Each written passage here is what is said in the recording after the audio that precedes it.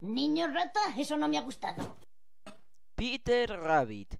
Sony sigue con su plan de sacar tres películas al año, que sorprendentemente por ahora les ha ido bien, a diferencia de DreamWorks en parte porque han sabido mantener presupuestos bajos. Es increíble lo mucho que han cambiado mis opiniones sobre este estudio. Ha pasado de parecerme un estudio del montón a ser uno que defiendo con garras y dientes. En serio, la forma de la que la gente trata a esta compañía es asquerosa.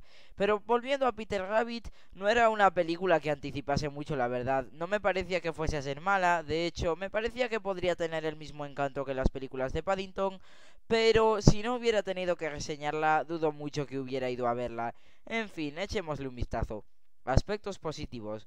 Esta es una película normalilla. No es mala, no es aburrida, tan solo común y olvidable. A los niños les gustará, pero verdaderamente es tan solo tu típica película de animación familiar, de animales que hablan, genérica, sin nada que destacar. Lo que más me gustó fueron las escenas con los humanos, fueron las únicas que de verdad me hicieron gracia y que disfruté. Los actores hacen un buen trabajo y se agradece. La película también está muy bien grabada, haciendo juegos de perspectivas bastante interesantes. La animación es muy buena, es de esperar, ya que está hecha por Animal Logic, el estudio de efectos especiales australiano que se encargó de animar las películas de Lego. Los personajes son muy realistas, sus movimientos son muy naturales y las texturas están muy logradas. La cinta también incorpora escenas animadas en 2D, al estilo de las ilustraciones de los libros en los que se basa la película dándole cierto aspecto visualmente agradable. Sin embargo, parte de este aspecto se quita en los fondos, que es el campo normal y corriente que puede hacerse repetitivo a la vista. El humor es muy mixto, como dije, las escenas con los humanos son lo más divertido, especialmente las del viejo de los primeros 10 minutos de la película, pero el resto es básicamente humor slapstick, que a veces puede funcionar y otras no. Volviendo a las escenas animadas en 2D de antes, me gusta bastante como la primera de estas muestra la muerte de una forma dramática y respetando a su audiencia. Si bien el resto de la película se pasa el tema de la muerte por los cataplines, de eso hablaremos más tarde. De hecho, cuando la película se pone emocional suele funcionar. Ojo, he dicho suele. Eso sí, admiro el atrevimiento de los productores de la película al añadir una escena en la que se burlan de la controversia de la alergia a las moras, la cual, por cierto, me parece una estupidez. Yo soy alérgico al gluten y jamás me sentí ofendido por ese chiste que hicieron en la película de Angry Birds. Y no, que una alergia sea mortal y la otra no, no es un buen argumento para quejarse. Es una película de animación, no es realidad, y debería de estar en el papel de los padres el explicarle a sus hijos que es ficción y que no.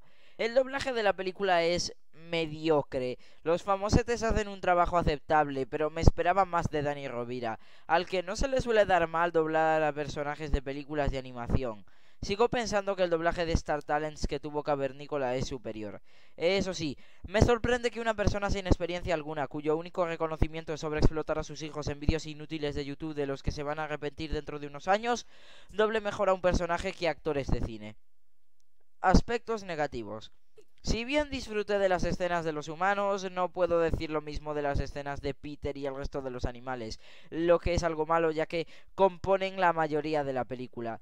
No son malas, pero el humor usado en ellas está muy visto, aunque eso fue lo que más disfrutaron los niños de la sala, que por cierto estaba llenita.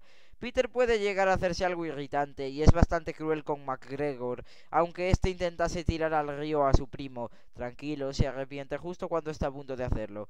Parte de los problemas causados en la película son causados por él, haciéndolo algo odioso. También, como dije, la película trata el tema de la muerte de una forma muy extraña. Al principio ponen la muerte del padre de Peter como algo triste y serio, pero directamente después matan al viejo y se supone que esa escena es graciosa.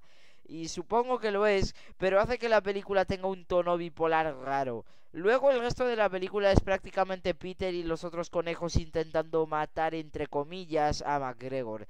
Cabe destacar que la película deja un agujero argumental enorme, que es que no nos deja claro si los humanos pueden o no hablar con los animales. Eso fue con lo que me quedé pensando al final de la película, y que queda bastante mal. Aunque bueno, sus agujeros argumentales no son tan gordos como los de otras películas.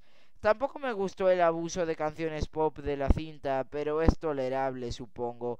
Al final, Peter Rabbit es una película que olvidaré en muy poco tiempo. No es mala y a los niños les va a gustar, pero si tienes más de 12 años, lo único que creo que podrías apreciar en ella son las escenas con los humanos.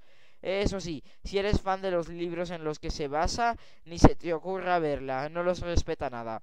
Un 5. Una buena noticia es que la siguiente película de animación a estrenarse es Isla de Perros, la cual me tiene una pinta alucinante. Si vives fuera de España, sin embargo, buena suerte. Ah, ah, ah.